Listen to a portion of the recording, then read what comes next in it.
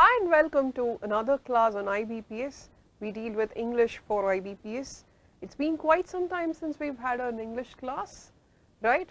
So, uh, good morning to everyone present here. It's a fine Saturday morning, okay? And uh, today we will be dealing with vocabulary, okay?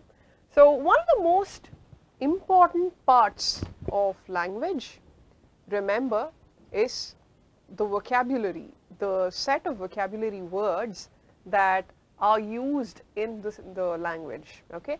And how you frame sentences with these words, that's very important and the rules, uh, you know, the uh, framing rules, that's your grammar part, okay? So, knowing the right words in the right context, that is very, very, very important, okay? So, it is very primary that you understand what means what when learning a language. Okay. So, even if you make minor mistakes in your language, in your grammar part of it, it's still okay because uh, you know people tend to understand even if you make grammatical errors. But if you run out of words to express yourself, that's a real problem. Okay. All right. So, we move on to our book suggestion for the day. Okay. So, uh, in recent times I have been um, uh, focusing on English, uh, Indian English writers. Okay. So, why is that so? I am an old timer who probably reads more of uh, English and American authors and then of course I stick to the Commonwealth that is the pecking order second uh, layer. Okay. So, along with this uh, you know you have your Indian writers. Very few Indian writers have been able to you know uh, progress. And one of those writers in the recent times that's Paul Kalanithi who tragically died of cancer at a very young age. And his book when breath becomes air is his journey through cancer. Okay? It's very touching it's extremely emotional and uh, slightly heavy on the heart. Nevertheless, it's a brilliant book. Okay, so check it out when you have the time. So a quick recap on what we did the previous class. We have uh, looked into reading comprehension and we looked at a practice passage and the questions that followed it. I gave you tips and uh, pointers on how to focus on uh, certain types of questions, okay. The inference, implication, uh, specific data match questions, so on and so forth, okay. Next we come to sentence completion, okay. So that is the topic for today. So what do you do with vocabulary? Of course, when learning a language to speak, to write, that that's the, you know, as I said, the primary thing to learn the words first. Okay. So, in your IBPS examination, remember that your sentence completion and your uh, RC passage vocabulary questions will be based on your vocabulary of course. Okay. So, uh, number one, what are synonyms and antonyms? Synonym meaning, antonym, the opposite meaning. Okay. So, uh, tall, short, that is your antonym and um, tall and probably a word like exalted, lofty, those are related. I wouldn't call them exactly synonymous, but they are related to each other. Okay. Um, so, remember that when you deal with sentence completion questions, this is nothing but your fill up the blank question. This is something that you have seen since uh, primary school. Okay, the very first exam or your cycle test, you would have seen fill up the blank kind of questions. Okay. Remember that when it comes to sentence completion, it's not just your vocabulary that is going to help you. Now, I think I'm pretty good with the English language, but there are words that leave me completely confused. I have absolutely no idea what the word means what do I do? Okay. So, all of us have such moments. Okay. How frequently? That is the question. Okay. So, um, remember that in such panic situations, we should all do, uh, you know, run an algorithm. Number one, you know, step number one of the algorithm, try to puzzle out the meaning from the sentence, from the context. Okay.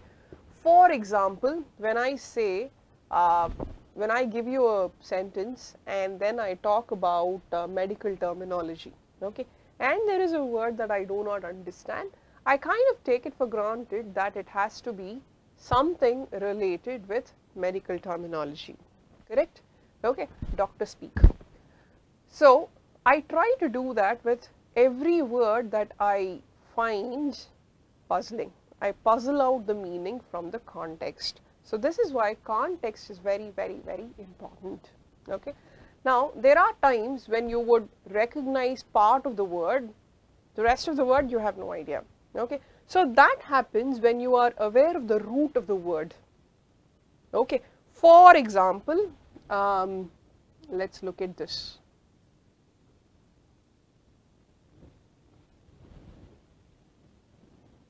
C-O-G-N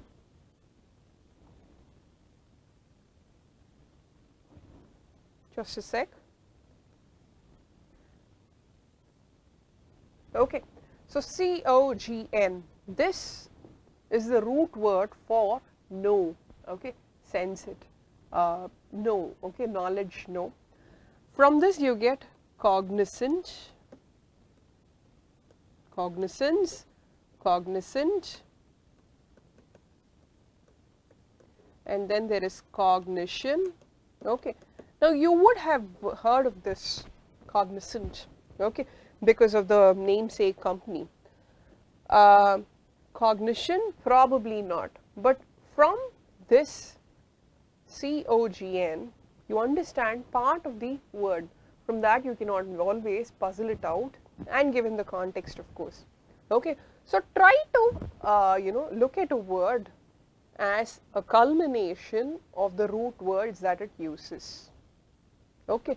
So, that should give you a good idea of what the word probably means. Okay. Then, uh, how to build a vocabulary? Please read, please read the right books. That is the reason I give you a book suggestion and then start with the class every day.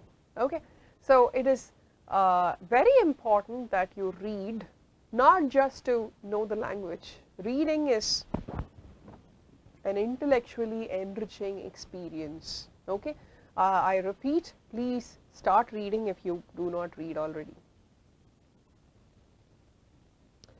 Now, we, uh, uh, we discussed about finding the meaning of a word with the given, uh, you know, uh, root words, correct? So, let us look at this. Okay. The first word that we see is pachyderm. Derm is the root word for anyone?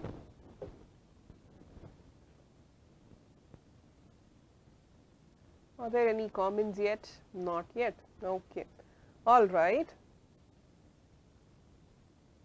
So, derm is the root word for skin and this means thick, thick skin that is the transliteration. Okay. But does it mean thick skin? Maybe. But typically when you use the, the term pachyderm, it means elephant or in some cases it could mean hippopotamus. Okay. Uh, so, it refers to the group of animals that are very thick skinned. Okay. Now, because we look at derm, let us also look at other words that you might know uh, with the root word derm. You have dermis, then there is epidermis. Remember your biology lessons where you uh, study about the layers of skin, epidermis, dermis, they are layers of skin, okay. Then there is dermatology, okay, study of skin. If you have any skin issues, you go to a dermatologist, a skin doctor, okay.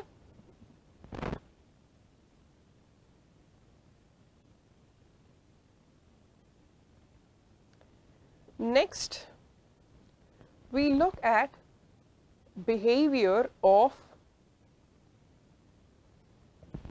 Okay, these are animal behavior traits. Okay, um, bovine is to do with cattle. Look at this example. You know what? You eat like bovine cattle. You have the tendency to chew your food, you ruminate and that's a very bovine characteristic. I can say that. What do I mean? If you notice very carefully, cattle tend to keep chewing their food. Okay, the scientific reasons are, uh, I mean, as far as I know, they have two stomachs. They just, uh, you know, uh, ingest, they just take in whatever they uh, find, food, okay, and then they bring it back to their mouth from one stomach. They ruminate, ruminate is to chew, okay. You can also say ruminating in my thoughts. He ruminated uh, about the proposal, took his own sweet time and then said yes, okay. So, that is a very bovine characteristic, okay, to do with cows, buffaloes, cattle, okay. Then lupine. Any Harry Potter fans here? When I say lupine, what comes to your mind? Professor Lupin, okay. Uh, Professor Lupin was a werewolf, correct? That is why JKR has named Professor Lupin thus and that's an epiphany moment. So, lupine is wolf-like characteristics. Then canine. Canine, all of us know, it's to do with dog-like behavior.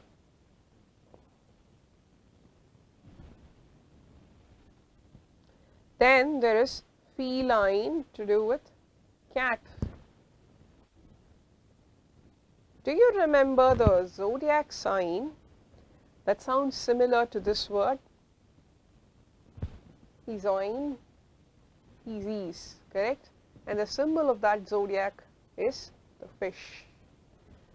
This is fish-like. Vulpine is fox-like. So, when you call someone vulpine, it means that he is very sly because the fox is known for sly behavior correct. Then asinine is to do with ass, donkey. Okay. And when you say someone is very asinine, it means that he doesn't have much here. Okay. He is stupid and that's asinine behavior. Okay. So, uh, inane is another word that means the same, almost the same.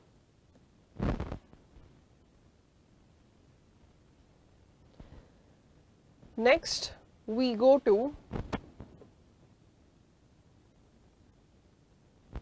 look at this set. What is common here? Ambivalent, ambiguous, ambidextrous. Okay. Now, when something is ambiguous or ambivalent, it means that it's vague, not very clear. What does ambi have to do with that? The root word ambi means both two-sided. Okay. So, uh, look at this example. You know what, uh, the, the questions weren't uh, properly written. Uh, in some questions, I could see that two or more options could fit in as the answers. So, there was great ambivalence, ambiguity, they were very ambiguous. Okay. So, where any vague, unclear, uh, you know, trait that is ambiguous, ambidextrous. Now, we have already seen in our previous classes that dexterous is to do with skill. Okay. So, when you call someone very skillful, you mean to say that he is dexterous. Ambidextrous, both skilled. Don't take it literally. It means one can write with both hands. Do you know of anyone who can write with both hands? Apparently, Da Vinci could. Okay. Leonardo da Vinci, uh, it is said that he could write, he could draw with one hand and write with the other at the same time. Okay.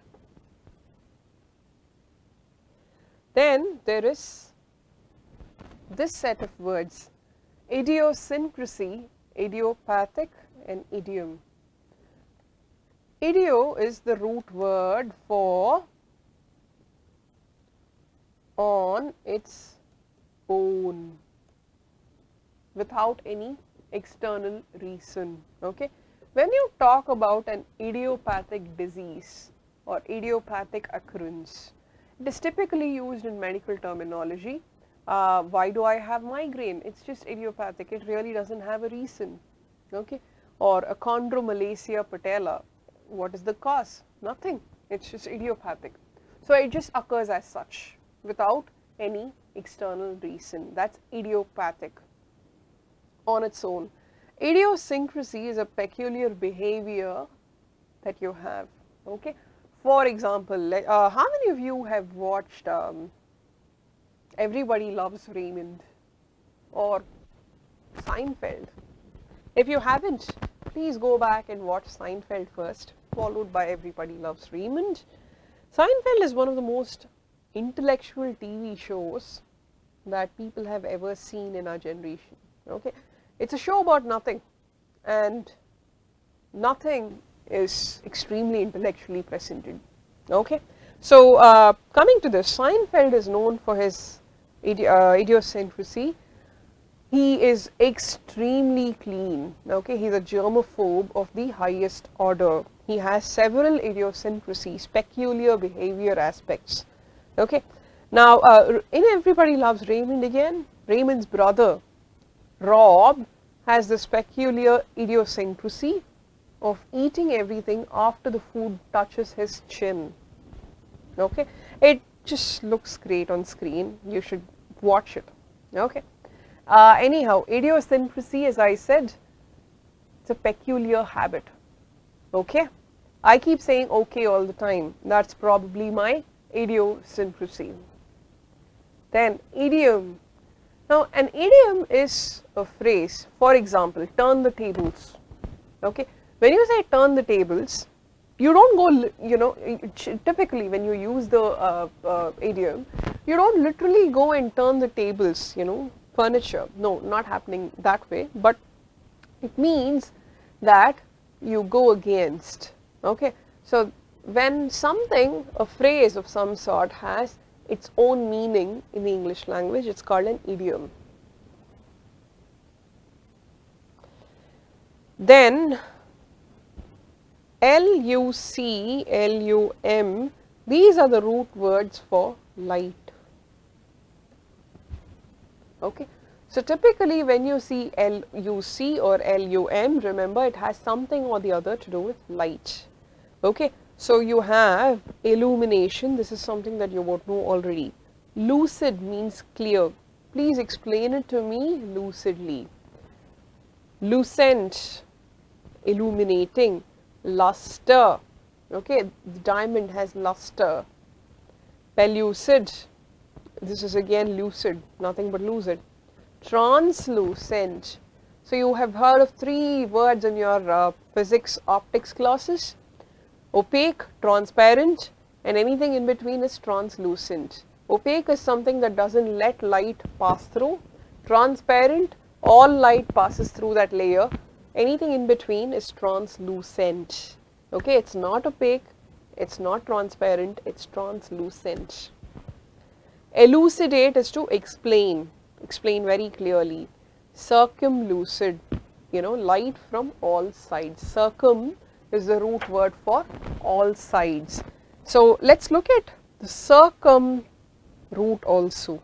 There is circumspect. Now, spect is the root word for see or look, which is why you have inspect, spectacle, spectacles. Okay. So, when I mean my glasses, I do not wear them anymore but yeah, uh, old habits die hard. I was reaching for my non-existent glasses. Spectacles, that's what you wear for better vision. When you say something is a great spectacle, it means that it's a great sight. Okay. Circumspect, look around on all sides.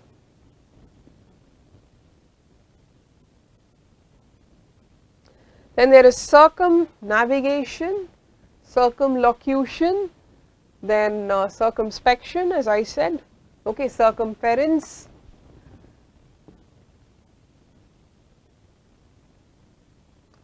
So next we have a Harry Potter spell that you would all know, lumos. Okay. So this is Latin for light. So whenever Harry goes into the dark, what's the first thing he says with his wand? Lumos, meaning light up. Nox is the opposite. Nox as a spell in the Harry Potter universe means, okay, let this be dark. Okay, I want darkness to uh, envelope this place, that's Nox. Nox is the root word, the root um, Latin word for night. Okay, so it's night in uh, English. If you look at it closely, Nacht in German. So all the uh, you know Saxon languages, the European languages are interconnected that way. Okay, so it all comes from the Latin word nox. From nox, what do you remember? To do with night. There is nocturnal, meaning owls are nocturnal animals. They are active only at the only during the night. Then there is equinox, meaning equi is equal, nox. So there is uh, what do you call day and night happen equally in equal intervals. So now we go to the previous class contest question. We are having an overdose of uh, Harry Potter, pardon me for that and fans you can thank me for that. Look at this, October arrived spreading a damp, I am sorry,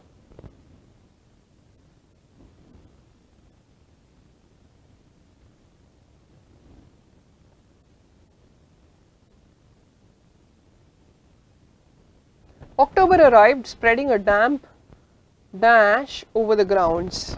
Now look at this, October is known for the start of winter, okay, and there is damp here over the grounds and dash into the castle.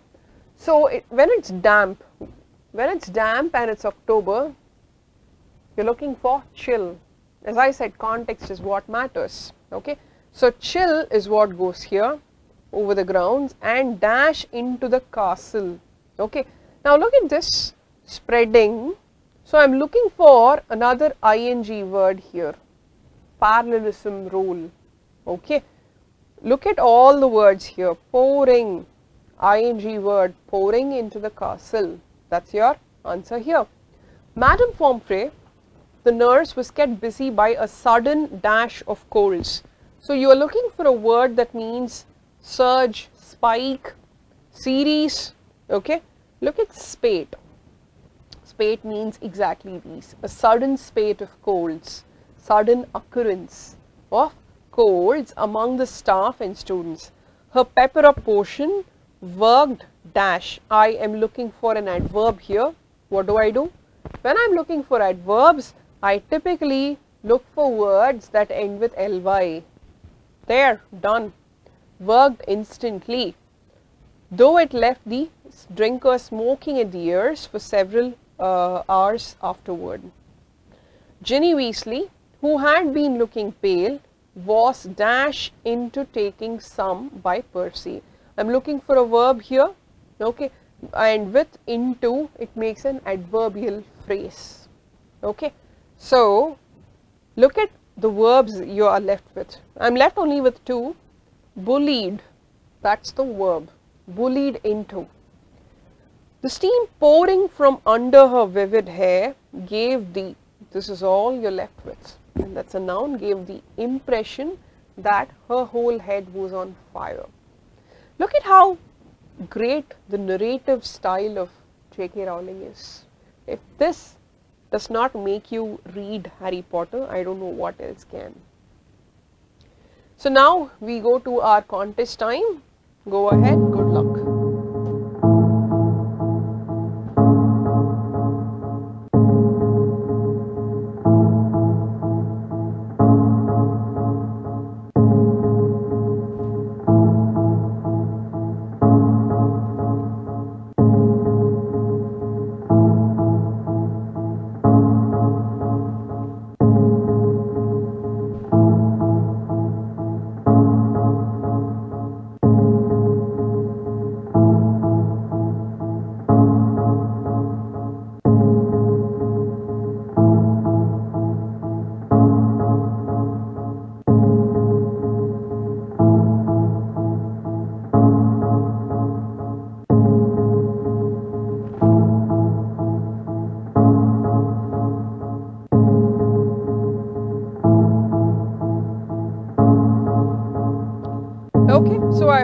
got that right. We'll of course be discussing this contest question in the next class.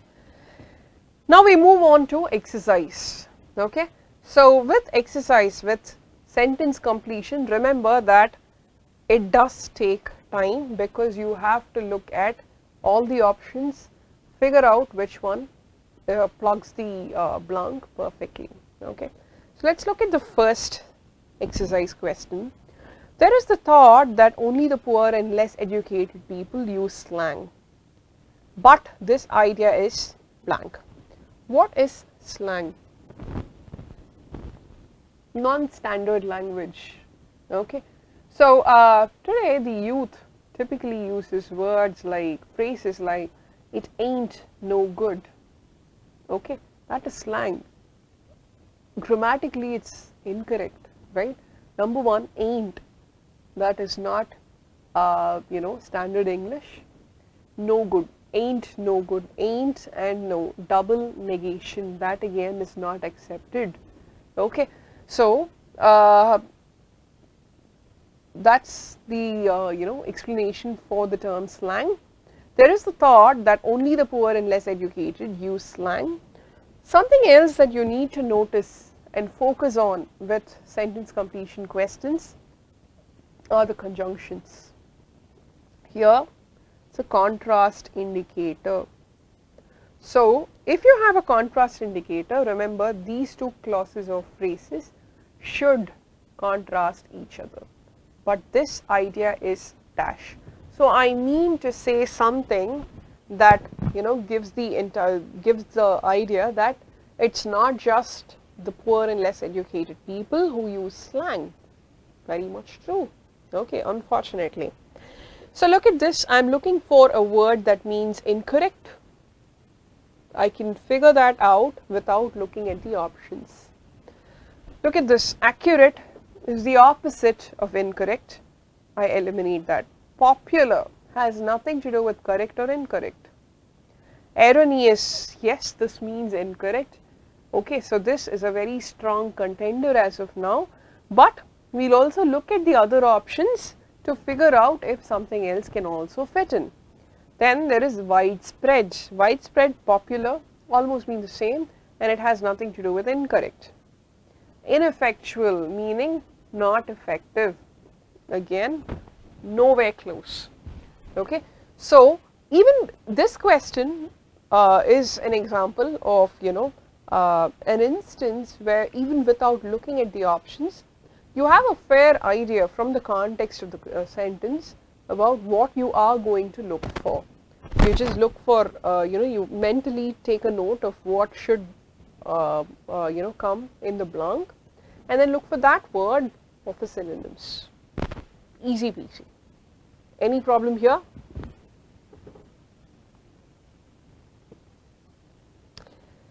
Next question. The commander dash his order to attack when he saw the white flag raised by the enemy sailors. Okay. Now, remember that context is very, very, very important. I've, I can't tell you uh, that enough. Okay. Now, the white flag is symbolism for peace. Okay. So, during a war, when someone raises the white flag, it means that they are looking for peace. They are not looking to fight anymore. It could mean surrender, peaceful surrender. Okay. So, uh, ethically speaking, what is the commander supposed to do when the other side wants to peacefully surrender? He needs to stop attack, correct? That is what I understand. Yeah. So, this has to do with stopping the attack. Any problem there? No, right? He was relieved that he could bring an end to the, okay, so what is going on here? Battle of some sort. So, I am looking for a word that means stop here and here it should mean battle of some sort. So, I have my options, but I am not even looking at it. I have already decided these are the kind of words that I should be looking for. reiterated. He doesn't reiterate the attack, he wants to stop it. Reiterate is to repeat. Okay. So, you are looking for something that is completely opposite. So, I am not even uh, looking at the next word hostilities, not interested because A I eliminate because the first word is definitely wrong. Countermanded and fighting. Countermand to go counter, to go against. Okay. So, this is right, it sounds like uh, you know the word that we are looking for. He countermanded his order meaning he went against his order. Fighting in battle mean the same. So, this is a strong contender. Commandeered, he didn't commandeered, he didn't commandeer his attack, he said stop. So, eliminate. Renounced, he renounced his order, give up. Renounce is to give up. Even assuming that this is right, look at this hiatus. Hiatus means temporary stop. Okay. For example, um, I put my teaching on hold, took a hiatus and went on a 15 day trek to the Himalayas. You get the point? Okay. A hiatus is a gap of some sort. Another word that means the same is dichotomy.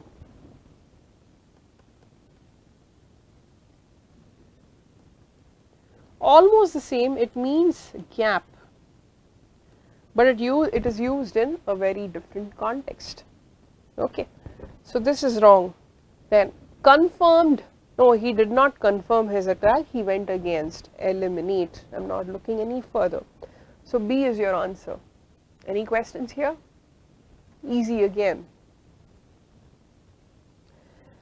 Now look at this, many biologists have attempted to dash the conditions on earth before life evolved in order to answer questions about the dash of biological molecules.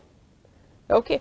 So, biologists, scientists of some sort, they are looking to dash the conditions okay, before life evolved. So, you are looking at a time period.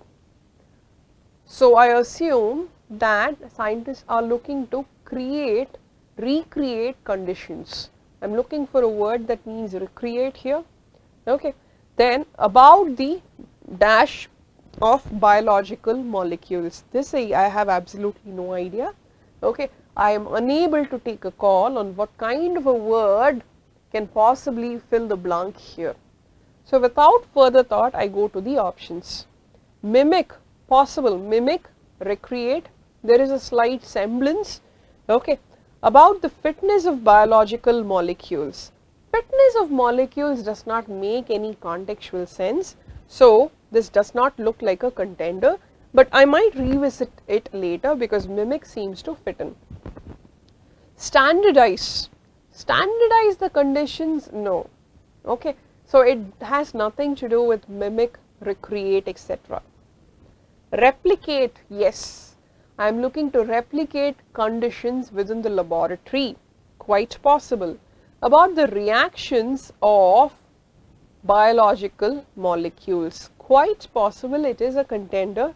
Now look at this, the conditions of earth before life evolved in order to answer questions about blah blah blah, okay. So reactions and the origin of life, there is no uh, uh, you know connect. Nevertheless, I leave it as a contender, we move simulate, simulate means recreate or mimic, okay. So, that is a very strong contender for the first blank, no doubt there. Origin, yes, before life evolved, okay. So, this is the key word here, okay. So, scientists are trying to recreate conditions before life evolved on earth to find out how life forms started origin, origin of life, start of life form. Okay. So, this is a very strong contender. Nevertheless, let us also look at the other option ameliorate, ameliorate and evolution. Now, I want to look at uh, the word ameliorate. Okay. Ameliorate means soften. Okay. Um, soften is definitely not the word that you are looking for. So, I eliminate this. This is your answer. But because we are doing a vocabulary class, Melly is the root word for soft. From this you get melody, mellifluous. Mellifluous is nothing but melodious, flows um, uh, melodiously. Flu has to do with flow. Okay. Then ameliorate, the word that you saw right here. Okay. Then there is mollycoddle.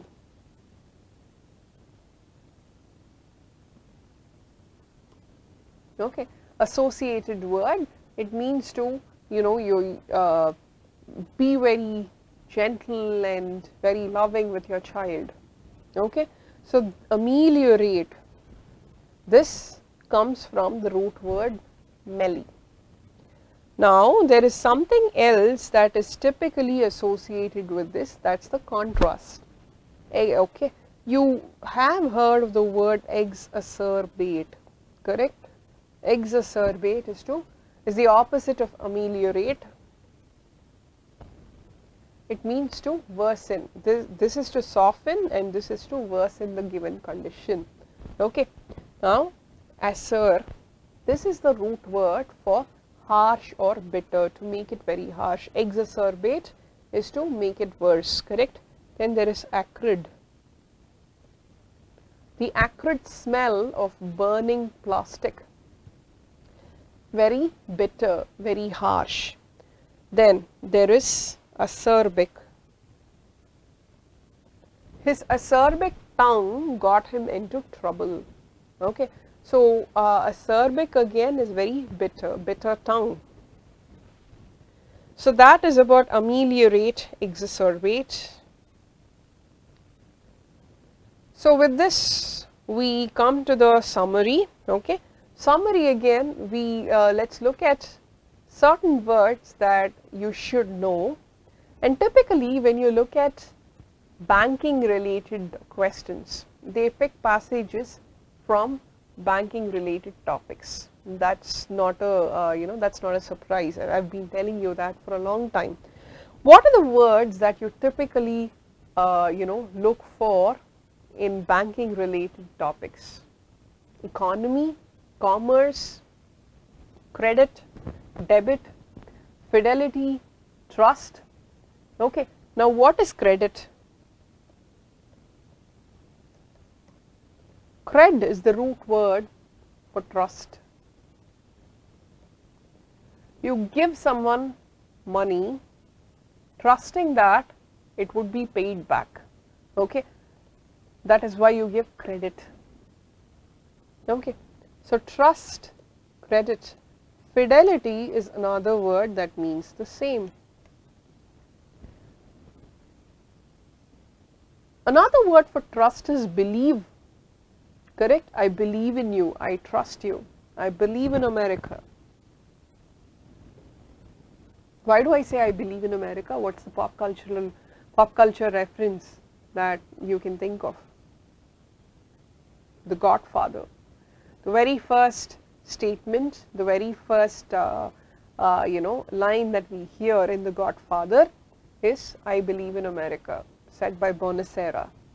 Okay. Anyhow, then trust, credibility meaning trustworthiness, credulous meaning believable, then incredulous,